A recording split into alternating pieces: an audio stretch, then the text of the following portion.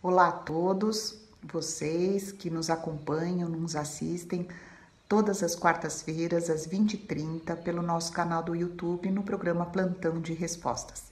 Esse programa foi elaborado com a equipe do Centro Espírita União e lembramos a vocês que o nome da nossa casa, Centro Espírita União, esta palavra união, ela se refere à união dos ensinamentos de Jesus e Kardec. Então, pensamos nesse programa buscando solucionar questionamentos ou dúvidas que vocês tenham a respeito da doutrina espírita codificada por Allan Kardec. Sendo assim, se vocês tiverem perguntas a fazer, escrevam para o nosso e-mail perguntas@centroespiritaunião.com.br que nós estaremos colocando essas perguntas para a nossa equipe e elas, nos próximos programas, irá, irão atendê-lo. Uh, que a mensagem de Jesus então possa fazer parte do nosso dia a dia, na nossa prática, nas nossas ações e que isso se reflita em todas as nossas relações, sejam elas de trabalho, sociais, relações familiares, para que a gente tenha realmente momentos de paz, de harmonia e que esse benefício que os nossos benfeitores espirituais, quando estamos em contato com eles através da prece, da oração, dos bons pensamentos, eles se fazem presente, nos trazendo essa paz interior maior. Um beijo carinhoso a todos vocês, um carinho que chegue até o coração de todos e que a paz e as bênçãos de Jesus sejam derramadas por para todos nós hoje e sempre. Vamos então a mais um plantão de respostas.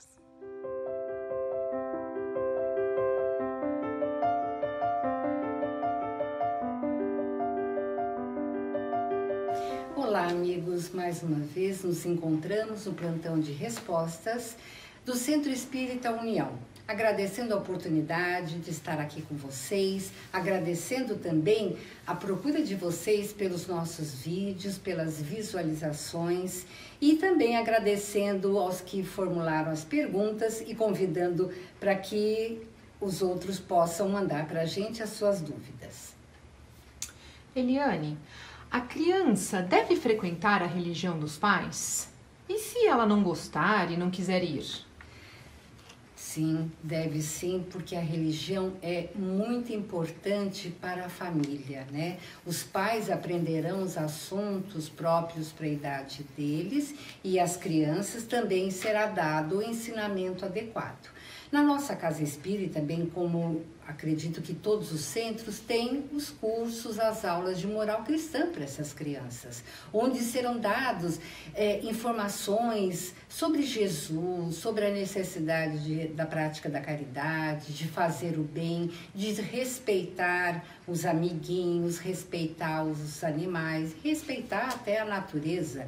Então veja como é importante. É a mesma coisa se uma criança está doente e precisa ser levada ao médico. Ah, a criança não quer ir. Os pais vão deixar de levá-la? Ou se a criança precisa fazer a visita no dentista, né? Está com dor de dente, está com algum problema ou até para prevenção. Os pais não vão levar? Lógico que vão.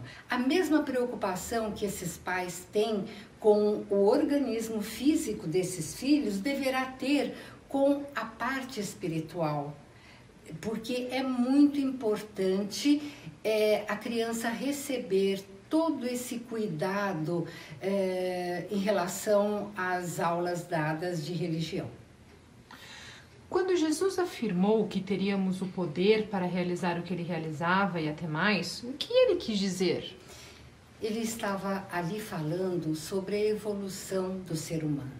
Né? Naquela época, principalmente depois que Jesus desencarna, os discípulos precisaram continuar divulgando a boa nova e precisaram se esforçar a ter a fé que sustentasse aquele trabalho.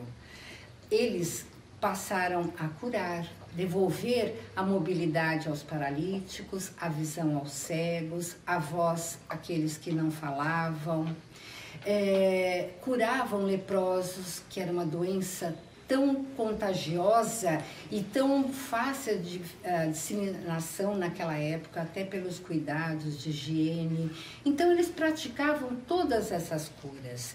E isso é possível quando nós acreditamos naquilo e estamos com boa vontade, contando com a cooperação dos espíritos amigos, dos benfeitores poderemos também continuar esse trabalho dentro da nossa pequenez. Mas Jesus estava falando para o homem imortal, aquele que um dia, daqui muito tempo, será um espírito puro e realizará com a maior facilidade tudo que Jesus veio fazer, inclusive, quem sabe, ser designado para dar o início de evangelização num planeta primitivo.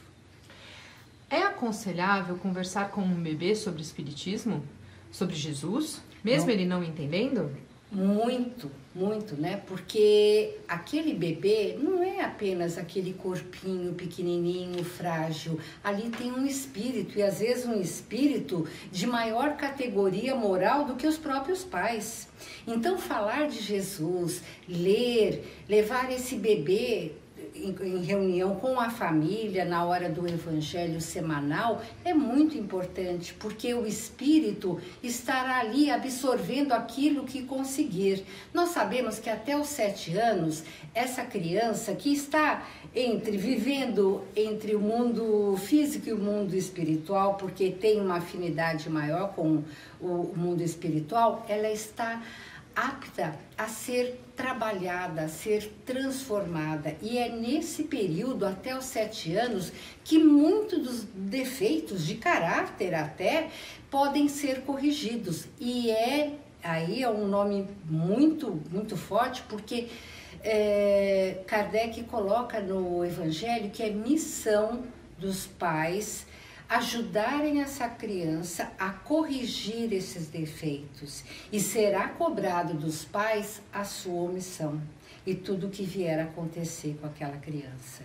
Então, amigos, vejam que é um bebê, mas que poderá estar ouvindo e pegando até certo sentido as preces, as leituras, as historinhas, até porque a gente estará apresentando uma literatura bem desde o início e essa criança receberá depois os livrinhos adequados de figurinhas para aquelas que não leem, já com as escritas para quem já foi alfabetizado e pegará gosto da leitura.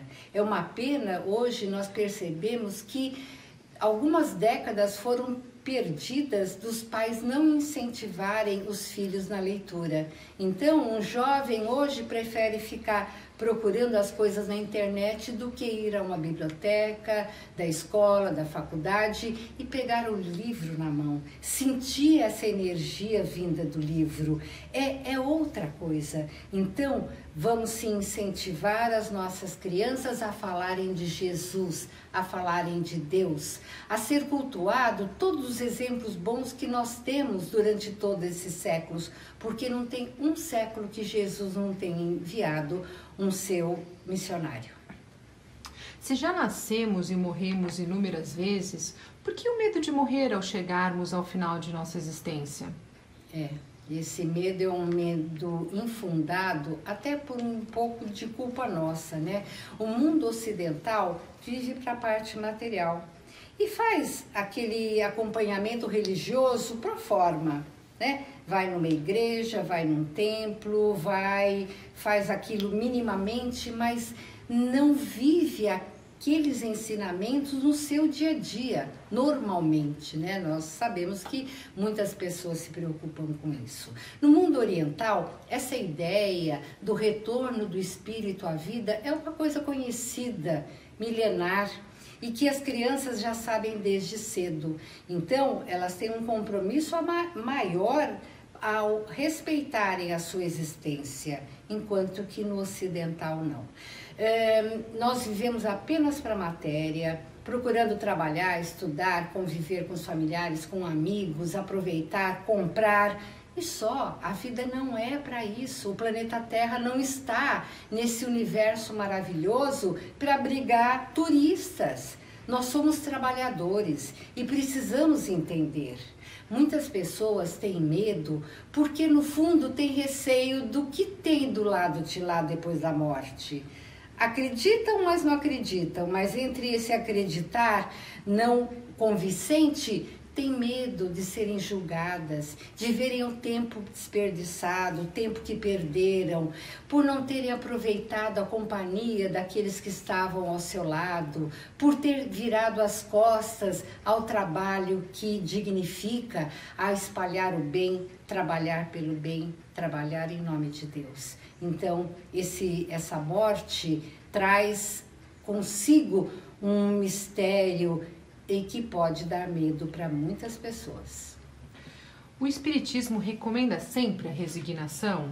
É para ficar passivo nas dificuldades? Não, pelo contrário, a resignação é ativa, porque a ela deve ter, ser incorporado a fé, a esperança, é, o trabalho, é, o, o, gestor dessa existência deverá estar ativamente contribuindo para a sua melhora, para aquele momento mais difícil, ele vai usar a resignação, que é o consentimento do coração, já que o consentimento da razão é obediência, a resignação não. Então é aquilo de não se revoltar e aceitar e tentar mudar para melhor a todo instante que estiver ao seu alcance. É levar é, a fé, ajudar o próximo. Né? Muitas vezes a gente passa um problema e acha que é o pior do mundo. Se nós olharmos para o nosso lado e formos trabalhar em benefício de quem está sofrendo, nós vamos ver que às vezes esse sofrimento é muito maior e que o nosso era pequeno. Então, é muito ativa é o consentimento do coração. E o consentimento do coração coloca nossas mãos a trabalhar pelo bem. O que vem a ser a frase: a quem tiver mais será dado, quem tiver menos será tirado? Então, vejam só. É, nós podemos usar até o exemplo que está no Evangelho, que é bem interessante. É um dono de terra que, para que ele possa aquela terra produzir, é necessário cuidar dessa terra, arar, escolher as boas sementes, é, plantar, à medida que essas plantas começam a crescer, tirar as ervas daninhas para que elas não sejam sufocadas, acompanhar o crescimento daquela planta, se for uma árvore, para poder crescer, florescer e frutificar. Então, essa, esse terreno é, retribuirá todo o carinho é, que esse dono teve, então ele terá mais. Enquanto que o trabalhador preguiçoso, se ganhar ou se ele tiver uma terra, ele vai querer ficar na sombra, não vai querer saber de pegar enxada, de limpar a terra, de ir escolher as boas sementes, de plantar, nem cuidar. Então, o que, que essa terra por mais que possa gerar alguma vida, pode ser que aquelas sementes espalhadas de qualquer forma é, começarão a viver, mas depois é, serão sufocadas pelas ervas daninhas. Então ele não terá nada, terá menos ainda de quando ele iniciou. Então isso é para mostrar que aquele que tem a boa vontade do trabalho, e do trabalho, não só o trabalho profissional, mas o trabalho íntimo, receberá muito. E aquele que está ocioso, preguiçoso, tudo isso terá cada vez menos. O que é perder uma encarnação em termos evolutivos? É, e é uma coisa muito séria, né? Porque se a gente pegar até na obra de André Luiz, nós vamos ver, por exemplo, nos Mensageiros, os espíritos que frequentam as aulas para poderem reencarnar, eles já faliram muito como médiums, como trabalhadores do bem, porque eles preferiram outras facilidades da vida, eles preferiram a, a, a, porta larga e fugiram da porta estreita. E o arrependimento é muito grande. Então, a pessoa, quando está para reencarnar, ela sabe o que, em linhas gerais, que o, aquilo que ela irá enfrentar, se é para corrigir determinado traço de caráter, é, às vezes a ambição, o orgulho que todos nós temos, a vaidade, o nosso egoísmo, às vezes a convivência com determinadas pessoas que irão dividir a existência conosco. Então, o cenário é o melhor possível para que a gente possa sair vitorioso. Agora, se no, o nosso orgulho impedir que a gente verifique os nossos defeitos e corrigir, não estender os braços, as mãos para quem precisar e fugir de toda aquisição do conhecimento que irá dignificar o ser humano, certamente terá um, uma existência fracassada. Outras oportunidades serão dadas, sem dúvida nenhuma, nós somos imortais mas já não teremos talvez todo aquele cenário, todas aquelas pessoas que estávamos no momento em que foi dada. Então, é aproveitar, é entender que nós não somos turistas no planeta Terra, nós somos trabalhadores e precisamos pegar a enxada nas mãos, ter a coragem, a esperança, a alegria de viver ajudar aqueles que estão conosco, nosso próximo, nos entregar a um trabalho produtivo, sem pensar se isso vai ter um, re, um, retorno material, porque as coisas materiais ficam, meus amigos. E quando nós desencarnarmos, não levaremos nada, ficará tudo aí. O que nós levaremos são as nossas ações. Então, só assim nós chegaremos mais tranquilos, né? E não com tanta vergonha que a maioria de nós chegará no mundo espiritual de retorno da existência. O interesse e preocupação pela saúde do planeta tem aumentado. Como refletir, segundo o Espiritismo? Então, veja esse planeta maravilhoso, a nossa Terra, que foi dada para que nós pudéssemos viver, evoluir, né, a cada vida, conseguindo é, fazer um pouco mais por nós e pelo planeta. Agora, o desrespeito chegou num ponto que hoje nós percebemos o quanto o planeta está sofrendo e a natureza ela não tem como não reagir de uma maneira como está reagindo. Então, à medida que nós estamos poluindo cada vez mais, existe o retorno em termos do ambiente, de calor, ou de falta de chuva, é, ou de muita chuva, os lixos. Então, vejam só, quando nós conhecemos o Espiritismo, nós aprendemos que precisamos cuidar cuidar do ambiente que estamos, zelar por ele, cuidar até da nossa água, a água que está na nossa casa, que nós sabemos se nós criarmos um ambiente é, negativo, a água estará absorvendo tudo isso. Às vezes nós cultivamos discussões, brigas, falamos palavras né, menos adequadas e esquecemos que essa energia está à nossa volta, está impregnando na nossa casa, nas paredes, nos móveis. Por isso que muitas vezes a gente vai, às vezes, num, num museu ou vamos numa casa que está vendendo coisas já usadas e aquilo traz um desassossego, a gente não sente uma coisa boa, porque aquilo está impregnado. Agora, imaginem o planeta todo, se as pessoas não se cuidarem, ele estará dentro de muito pouco tempo exausto.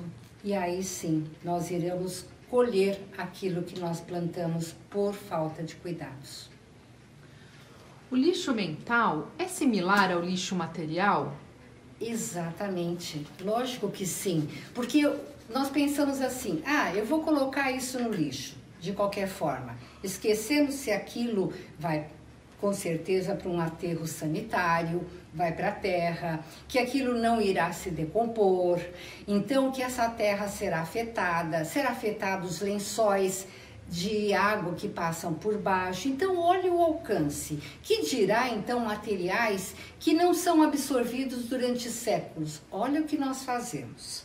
Mas nós nos livramos daquilo, o lixeiro levou embora e acabou. Achamos que está tudo limpinho, está tudo em perfeita ordem, de forma alguma, porque nós seremos espiritualmente responsáveis até por aquele lixo material que estamos jogando no planeta.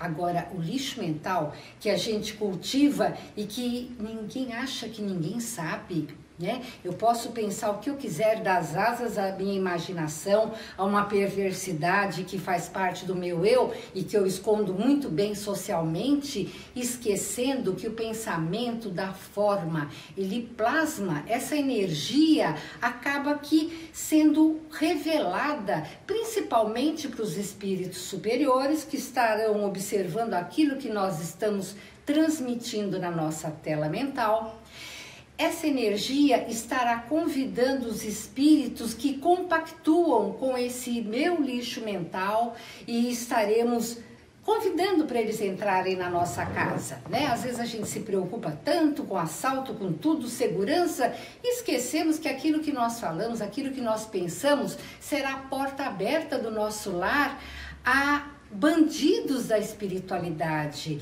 Infelizmente, são espíritos muito atrasados que desperdiçam a chance de serem amparados, tratados por uma nova reencarnação.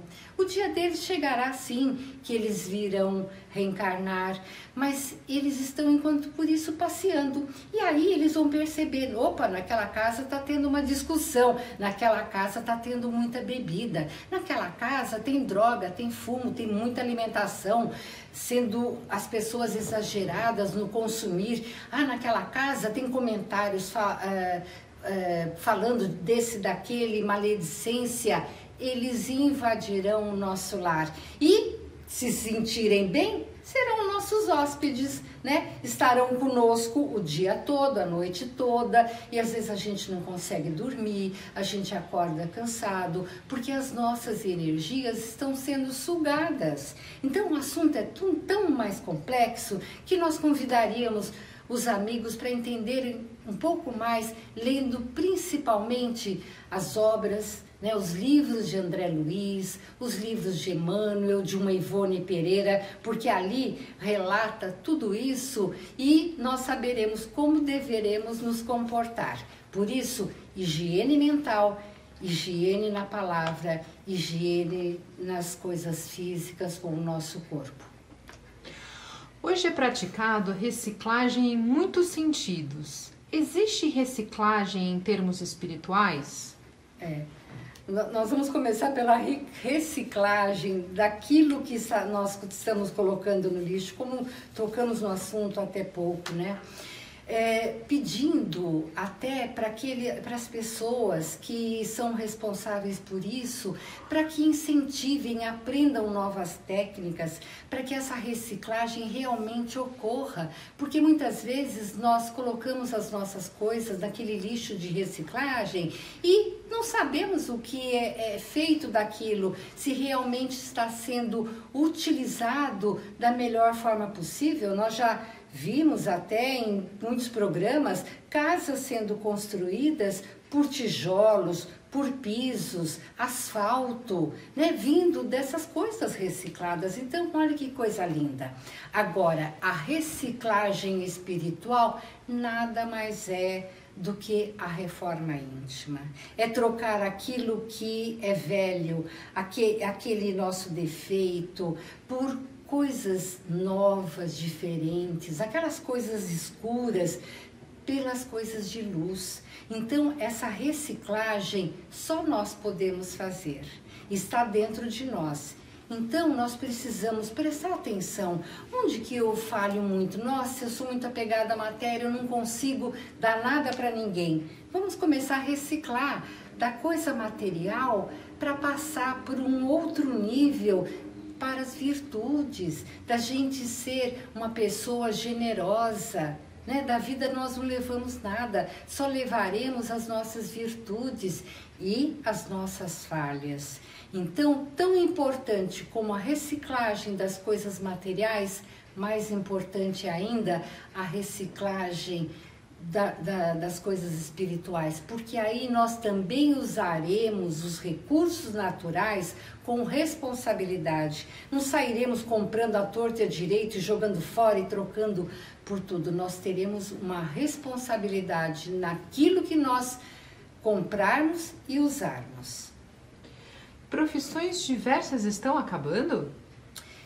É, dizem os especialistas, principalmente agora que nós pudemos verificar no momento de pandemia que vem se arrastando há tanto tempo, determinados segmentos que estão fechando, até porque as pessoas não dão o valor necessário. Então veja, antigamente, né, posso falar até porque tenho mais de 60 anos de vida, nós víamos profissões tão normais de costureiro, de sapateiro, de técnicos de aparelhos, porque as pessoas economizavam. Um sapato, se gastasse a sola, era trocado. Hoje, sinceramente, aqui no nosso bairro, não, não conhecemos sapataria, né? Como tinha antigamente. Então parece que infelizmente as pessoas estão perdendo a oportunidade de ter esses profissionais maravilhosos.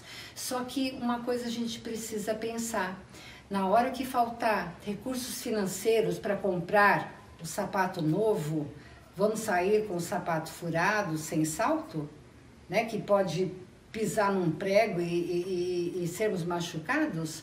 Ou procuraremos que aquilo dure mais? Né? É, teremos o prazer de conversar com um sapateiro, com uma costureira, elogiando o trabalho deles. Então, as, as profissões talvez elas vão mudando de cara, né? Mas a maioria delas talvez vá continuar se Deus quiser. Mas é importante que todos nós também possamos fazer a nossa parte para ajudar essas pessoas a continuarem nessas profissões, porque muitas delas no passado se passava de pai para filho, né? E, e era uma continuidade. Olha que coisa bonita. Por que é mais fácil jogar fora do que consertar? Como ampliar nossa reflexão sobre isso? Então, né? Parece que nós importamos esse modo de ser de determinado país, dito de primeiro mundo, que não vale a pena arrumar, joga-se fora. E dizem as pessoas que costumam viajar para lá que nos lixos parecem coisas maravilhosas, porque é mais fácil jogar fora, sai mais barato, comprar um novo, ou talvez porque esses profissionais, esses técnicos, não foram é, valorizados. Agora, nosso país não é de primeiro mundo. Nosso país tem uma linha de miséria muito grande e nós precisamos aprender a economizar a não sair gastando a torto e a direito, a consertar aquilo que foi quebrado, a colar nós mesmos. Tem coisas que a gente pode arrumar, né? Ou levar para arrumar. Agora, se ninguém leva, lógico que a, as indústrias irão vender aquelas peças caras. Então, por exemplo, um ferro que custa, um exemplo, 200 reais, para arrumar ficaria em 130. A pessoa fala, ah, já tem bastante tempo, prefiro um novo. Olha só para onde vai esse ferro, esse lixo. Então, e aqueles técnicos que costumavam arrumar, aí as peças dessa, dessa, dessa, desses instrumentos, né, dessas máquinas, cada vez estão mais caras e nós vamos ser obrigados a comprar para poder consertar se quiser. Então, olha, o, o, o a, é, é uma coisa bizarra. Que ponto o ser humano chegou de jogar tudo de qualquer forma. Antigamente as bonecas eram lavadas, os nossos pais, nossos avós punham para tomar sol. Hoje, se tiver suja, tá, tá, põe lá, dá para alguém, vamos comprar um novo. Não. O que, que nós estamos ensinando nos nossos filhos? Nós falávamos no início do programa que nós precisamos educar essas crianças. Atualmente, na pandemia, os pais hoje estão vendo como é duro, como é sacrifício educar uma criança, porque eles deixavam a criança de manhã na escola, pegavam só no fim da tarde ou deixavam na creche e os professores que se virassem, só que os professores não estão lá para dar educação moral. Eu acredito que os bons professores aproveitam todas as oportunidades para poderem ensinar. Mas o papel deles é outro. E esses pais hoje estão com crianças desesperados para que acabe a pandemia para mandar o filho de volta para onde costumava ficar. Então, olha a benção. Essa pandemia vem como eu acho que eh, nós acreditamos como recurso divino para poder juntar as famílias. É, é fácil? Não, não é. Não, sai discussão, sai um monte de problema, até o momento que a gente começa vigiar as nossas palavras, as nossas ações, que nós colocarmos na nossa mente que precisamos conviver bem num clima de harmonia, que precisamos corrigir o defeito daquela criança, que não está se dirigindo a um outro adulto com respeito, que está falando que bem entende, fala para a mãe que uh, não tem que educar, para não perturbar. Onde já se viu? Os jovens não sabem, mas as crianças do passado eram muito bem educadas. Se levantavam para dar lugar para um adulto, pediam por favor, com licença, cumprimentavam com bom dia. Quando os pais falavam não, era não. E não ficavam se jogando no chão fazendo birra. E hoje nós vemos crianças que depois vão parar, até num psiquiatra, vão parar num psicoterapeuta. Ai, essa criança é, é difícil a convivência, ela está tendo problemas. Lógico, se os pais não se dedicarem a ensinar e a educar e corrigir, essas crianças sofrerão muito no futuro, porque o mundo não aceitará essa falta de educação. E um mais forte lhe dará o troco adequado.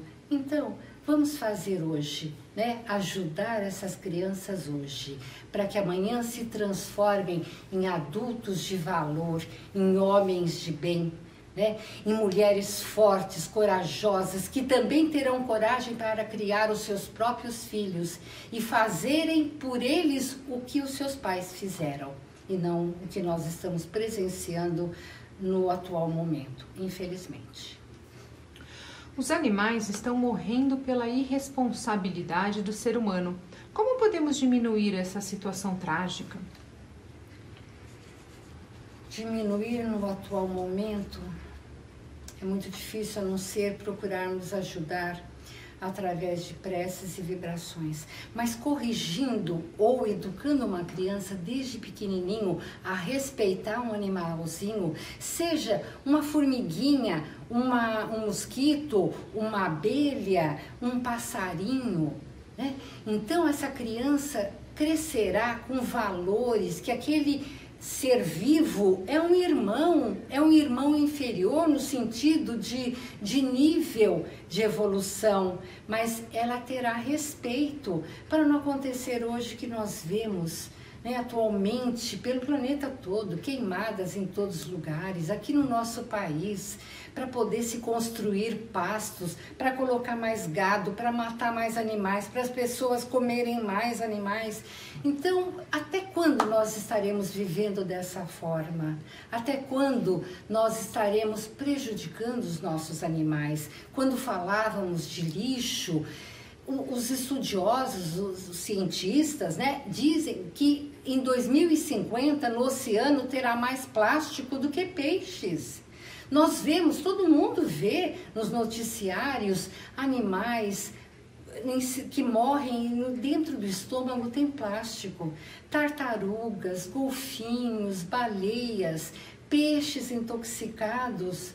Acho que isso vai passar sem responsabilidade para nós, para nossa evolução?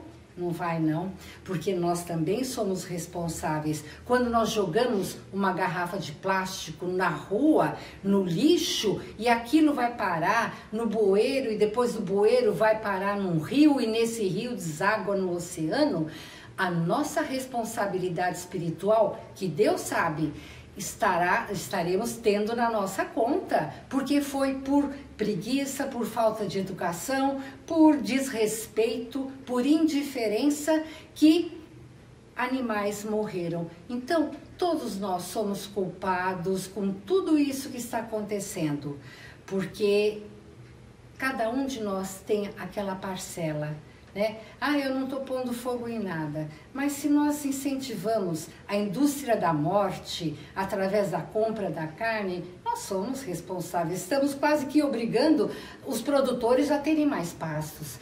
Se nós consumimos tudo de qualquer forma, sem nos importarmos com o que acontece, quantas pessoas continuam, é lógico que é gostoso, né? É, é, o, o, fígado do, do, pato, né? O foie gras, tão apreciado no mundo todo, mas se a gente visse como esse pato é alimentado de comida pela garganta sem parar para que ele possa ficar obeso e aquele fígado cheio de gordura, como a gente vai conseguir pegar, ter coragem e se alimentar com aquilo? Não estamos sendo responsáveis? Estamos sim. Não podemos alegar inocência, até porque a internet hoje, todo mundo tem acesso para ver o que acontece nessas situações com os animais.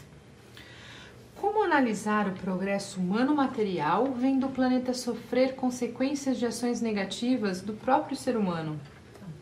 Progresso material. Que progresso é esse? Né? E o que está acontecendo com o ser humano?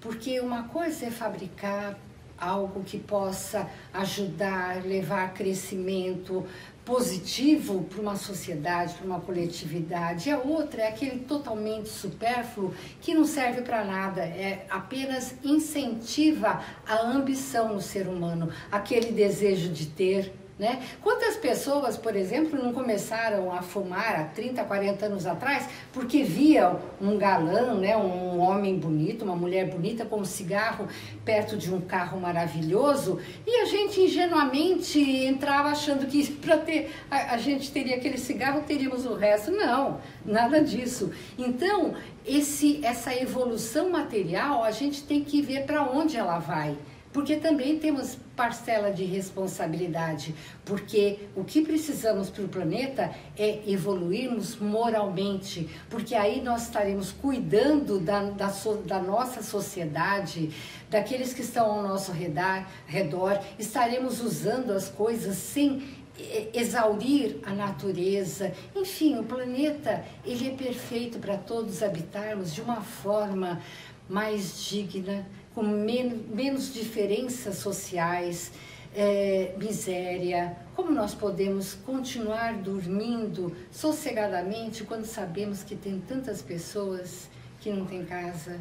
Como nossos filhos estão sendo vestidos, os nossos netos com brinquedos, enquanto que tem tanta criança sem pais, abandonadas e tudo isso?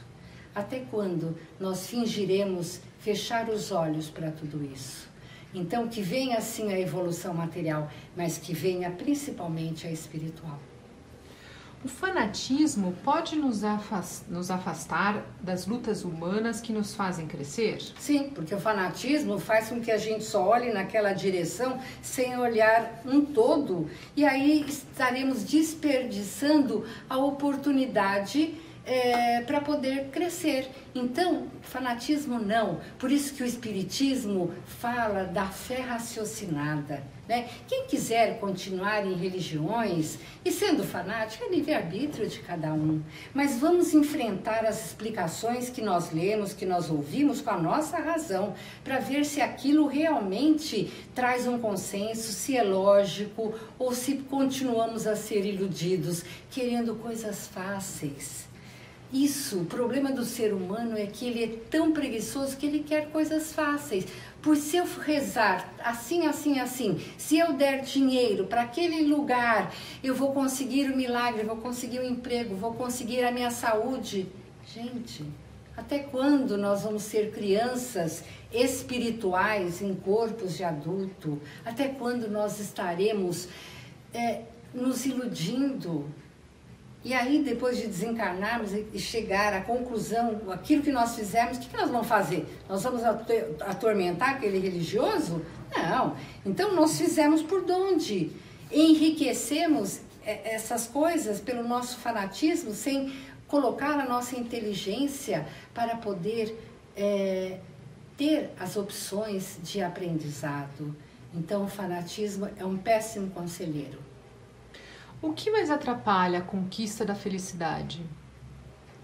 A conquista da felicidade é, é aquilo que nos dá paz interior.